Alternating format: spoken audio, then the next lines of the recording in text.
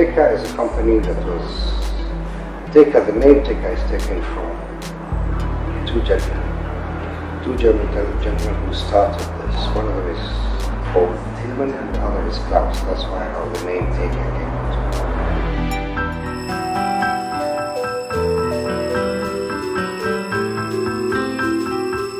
And we're the only company in the world which produce everything for kitchens. Everything.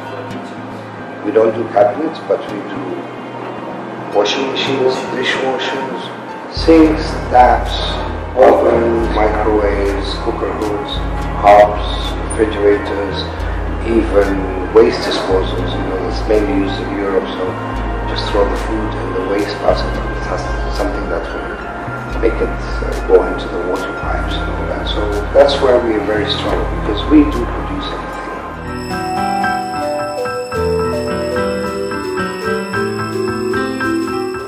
course, because to be able to maintain, because life keeps changing.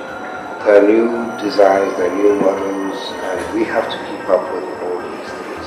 And to maintain our standards, we have to come up with products with high quality and high technology.